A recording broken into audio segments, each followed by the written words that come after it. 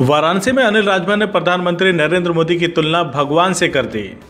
भगवान से नरेंद्र मोदी की तुलना करते हुए उन्होंने कहा कि आज गरीब मोदी जी को भगवान समझ रहा है। पूज्य मोदी जी का कोई विकल्प नहीं है। इकहत्तर साल का इतिहास उसके सामने है, किसी से कुछ छुपा नहीं है। अब गरीब आगे बढ़ना चाहता है, देश और नौजवान अपने सपनों को पूरा करने के लिए आगे बढ़ना चाहता है। अनिल राजभर ने कहा कि नौजवानों के आगे बेरोजगारी की समस्या है। लेकिन उसे भी नौजवान समझ रहा है कि थोड़ी बहुत जो उम्मीद है वो मोदी जी से ही है। मोदी जी लौट कर आएँगे तो हमारी ज़िंदगी में उम्मीद का दीपक जलेगा। नौजवान इस बात को पूरी तरह से समझ रहा है। हमारे जो नव मतदाता और सड़सठ प्रतिशत युवा मतदाता है वो निर्णायक हैं और फिर से कमल का बटन दबाकर फिर से मोदी जी को देश की सत्ता पर बैठाने का काम करेगा। वाराणसी में प्रदेश सरकार के मंत्री अनिल राजभर ने कैबिनेट मंत्री ओम प्रकाश राजभर की नाराज़गी पर कहा ये बातें बहुत पहले से चल रही हैं। जब दल से कोई नाराज़गी नहीं है तो राष्ट्रीय अध्यक्ष का आशीर्वाद बार बार मिलता रहता है। उसके बाद इस तरह की बयानबाजी क्यों आती है कि हमारे गठबंधन का कोई भी साथी अलग होने वाला नहीं है? हम लोग एक साथ इस चुनाव को मिलकर लड़ेंगे। ओम प्रकाश राजभर द्वारा छह सीटों के मांग के प्रश्न पर अनिल राजभर ने कहा कि अगर सम्मान की बात की जाए तो पिछले विधानसभा चुनाव से लेकर अब तक बहुत कुछ दिया है। बहुत बड़ा मन करके बहुत बड़ा दिल करके अमित शाह ने उनका मान सम्मान बढ़ाया है। विधानसभा चुनाव में आठ सीटें दी और अभी उनके कार्यकर्ताओं का और उनके सुपुत्र अरविंद को भी पार्टी ने किस तरह से सरकार में समायोजन किया, उनका महत्व तो बड़ा या कहीं कोई कमी है तो नहीं। उनकी परेशानी कहाँ है, ये तो ओम प्रकाश राजभर ही बेहतर समझ सकते हैं। उनको जितना महत्व और सम्मान दिया गया, वह उम्मीद से बहुत ज़्यादा है। जिस बड़प्पन का प्रदर्शन हमारे दल की तरफ़ से हो रहा है उसका महत्व ओम प्रकाश राजभर को समझना चाहिए। कई ऐसे मौके आए जब फैसला हो जाता है, लेकिन कहीं ना कहीं संतुष्ट हैं तभी तो साथ बने हैं। केवल राजभर समाज ही नहीं, बल्कि गरीब बैकवर्ड चट्टान की तरह से मोदी जी के साथ खड़ा है। हम वोट के लिए नहीं, संस्कार की राजनीति करते हैं, उस नाते हम किसी को छोड़ना नहीं चाहते। प्रधानमंत्री के संसदीय क्षेत्र के बाद अब अयोध्या राम जी का दर्शन करने जा रही हैं। कुछ भी कर लें ये कोई नई बात नहीं है। पहले भी प्रियंका गांधी जी दर्शन करती रही हैं। पहले भी प्रियंका गांधी उत्तर प्रदेश में रोड शो करती रही हैं। और मैं सच कह रहा हूँ जब 23 तारीख को 23 मई को जब चुनाव के परिणाम आएँगे तो आप देखिएगा लोग जहाँ हैं वहीं खड़े नज़र आएँगे। क्या कुछ प्रभाव डालेगा प्रियंका का इतना? कुछ भी नहीं प्रभाव पड़ने वाला नहीं। गरीब समझ चुका है पूरी तरीके से। हमारा भला कहाँ है? पूज्य मोदी जी का कोई विकल्प नहीं है। आज गरीब अपना भगवान समझ रहा है मोदी जी को। इकहत्तर साल का इतिहास उसके सामने है कुछ छुपा नहीं है। अब गरीब आगे बढ़ना चाहता है देश आगे बढ़ना चाहता है नौजवान अपने सपने को साकार करना चाहता है। लेकिन बेरोजगार तो परेशान है बेरोजगार कह रहे हैं कि रोज़गार नहीं मिल रहा है नहीं है समस्या। युवाओं को। है समस्या उस समस्या का समाधान भी मोदी जी है।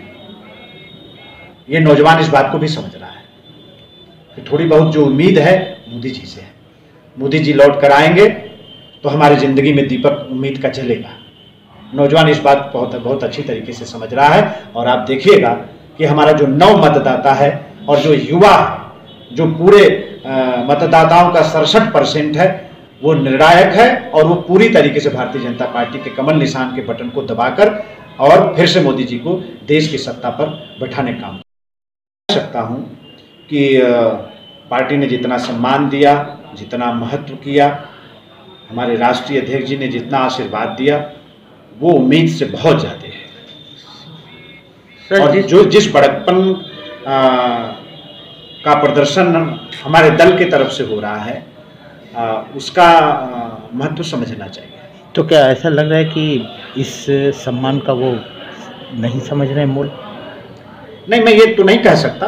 नहीं तो बहुत सी तारीखें हम लोगों के सामने आई अब तक कोई न कोई फैसला हुआ होता। अ, कहीं न कहीं निश्चित तौर पर अ, हमारे राष्ट्रीय अध्यक्ष जी से और दल से कहीं ना कहीं संतुष्ट होंगे तभी तो साथ बने हैं।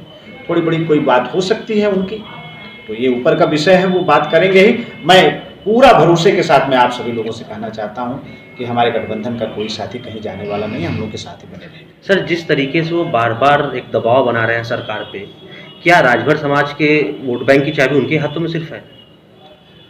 नहीं, देखिए, ये तो बहुत दूर की बात हो गई। अब सिर्फ़ राजभर ही नहीं, बिंद ही नहीं, बिहार ही नहीं, नोनिया चौहान ही नहीं, केवट मल्ला ही नहीं, प्रजापति कुंभार ही नहीं। ये जो मोस्ट बैकवर्ड है, जो गरीब है, आज के दिन चट्टान की तरह मोदी जी के साथ खड़ा है, भारतीय जनता पार्टी के साथ खड़ा है। ये हमारी परंपरा है, हमारे दल का दस्तूर है, हमारे राष्ट्रीय अध्यक्ष जी का बड़प्पन है कि वो अपने किसी साथी को छोड़ना नहीं चाहते। हम वोट की राजनीति नहीं करते, हम संस्कार की राजनीति करते हैं। और उस नाते हम लोग आखिरी दम तक चाहते रहेंगे कि हमारा कोई साथी हमसे अलग ना हो। बाकी गरीब पूरी तरीके से मोदी जी के साथ खड़ा है। अपने चुनाव में पाकिस्तान की चर्चा ज़रूरत से ज़्यादा हो रही है। क्या कहेंगे? क्यों पाकिस्तान पाकिस्तान के नारे, पाकिस्तान की गूंज हर तरफ़ सुनाई दे रही है? सर्जिकल स्ट्राइक, एयर स्ट्राइक की बातें हो रही हैं। भाई, ये बात तो हमारी तरफ़ से कम आ रही है।